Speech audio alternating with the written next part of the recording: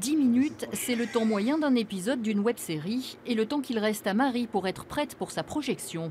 Là, ce matin, on a fait le mixage du, dernier épisode, par exemple. Donc, euh, voilà, on a gratté chaque petite minute, euh, chaque petit temps qu'on pouvait euh, pour, pour avancer et pour, pour finir dans les temps. Putain, je sens que ça va être une journée de dingue.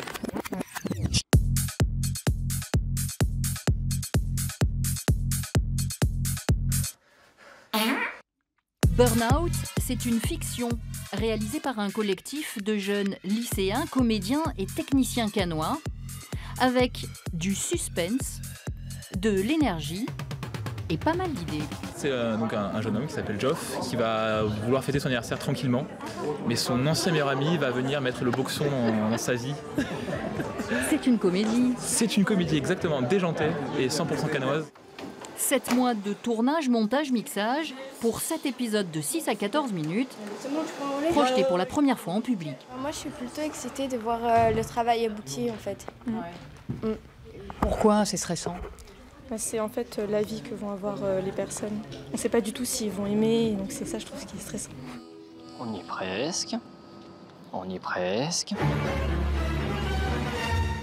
Vous avez pas un entonnoir? Oui, dans le coffre. Non, non de l'humour indispensable et du rythme dans les séquences obligatoires pour un public de jeunes qui regardent des séries sur Internet. Non mais hé monsieur euh, c'est un format qui leur parle, ça fait partie de leur culture, ils regardent beaucoup Internet, donc forcément les web-séries.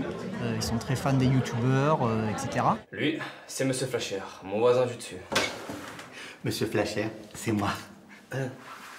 On n'a pas envie que ça se termine, on a envie que ça continue et c'est vraiment super. Du point de vue technique et tout, il y a quelques petits soucis de temps en temps, mais, c'est drôle. C'est très, très très réussi, moi j'aime bien, j'apprécie.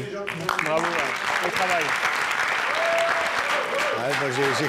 quand j'ai commencé, c'était pas comme ça. On faisait des films ou des courts-métrages ou des quatre. Maintenant, on peut se servir d'Internet. Euh, c'est énorme, c'est bien. Burnout doit maintenant consolider sa bonne santé. La web série canoise va faire le tour des festivals.